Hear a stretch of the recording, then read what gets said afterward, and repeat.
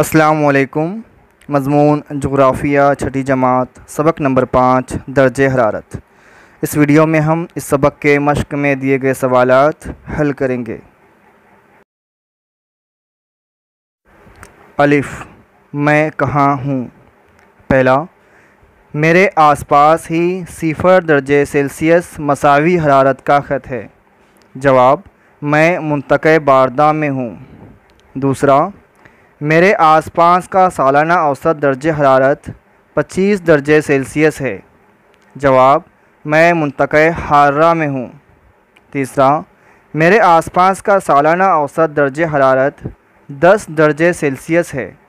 जवाब, मैं मुंतक़ मतदला में हूँ। बे, मैं कौन हूँ? पहला, मैं मसावी हरारत के मकामात को जोड़ता हूँ। जवाब मसावी खतूत हरारत। दूसरा, दर्ज हरारत की सही पैमाइश के लिए मेरा इस्तेमाल किया जाता है। जवाब, हरारत पैमा।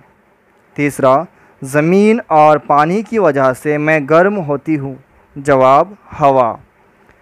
चौथा, ज़मीन और पानी मेरी वजह से गर्म होते हैं। जवाब, सूरज। जीम, जवाबात लिखिए। पहला ज़मीन की कुर्रवी साख्त दर्ज हरारत पर किस तरह असरानंदाज होती है? शक्ल के साथ वाज कीजिए। जवाब।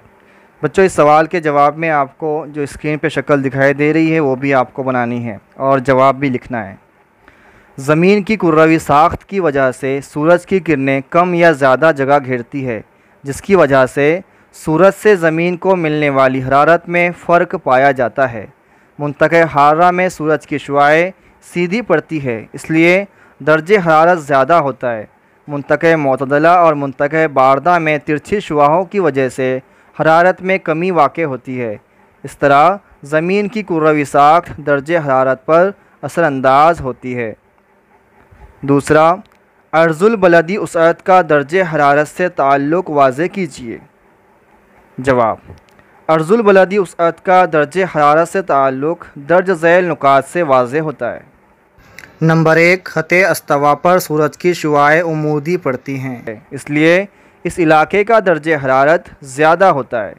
नंबर दो ख़त सरतान और ख़त जिद्दी पर सूरज की शुआएँ तिरछी पड़ती है। इसलिए यहाँ का दर्ज हरारत ख़त अस्तवा की नस्बत कम होता है।